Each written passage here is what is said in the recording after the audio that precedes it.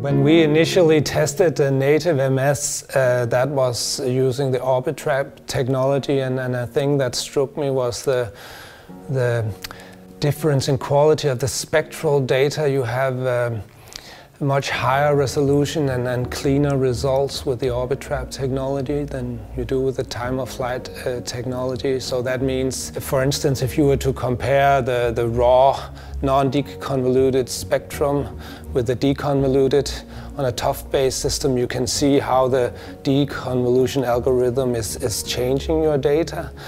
If you do the same on an uh, uh, native MS data or even just uh, intact mass data in general on, on Orbitrap, you can see that the, the, the, deconvolution algorithm has very little impact on, on the, the data quality. So that means the, the, the starting data quality is, is just uh, at a different level and, and the data processing has a, uh, very little impact on, on the final output of your uh, results. For instance, you can take a charge state and determine the glycan distribution from that and then you can look at the deconvoluted spectrum and you will get exactly the same glycan distribution on uh, Orbitrap based data. Um, when you do that with TOF-based data, especially uh, weak signals, they tend to either disappear or get exa exaggerated when you do the data processing. So we just find the, the quality of the, the raw data is, is uh, uh, superior with the Orbitrap technology in terms of intact mass spectrometry, uh, including native MS, of course.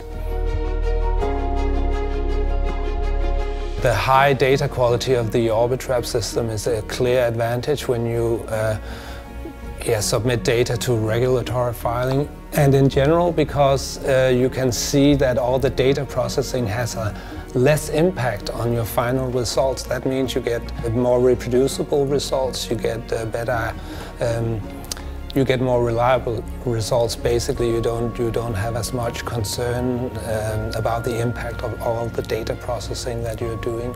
For native mass spectrometry, we use a Thermo Scientific Vanquish Horizon UHPLC system, and that is connected to a Thermo Scientific Q-Exactive Plus with a Biopharma MS.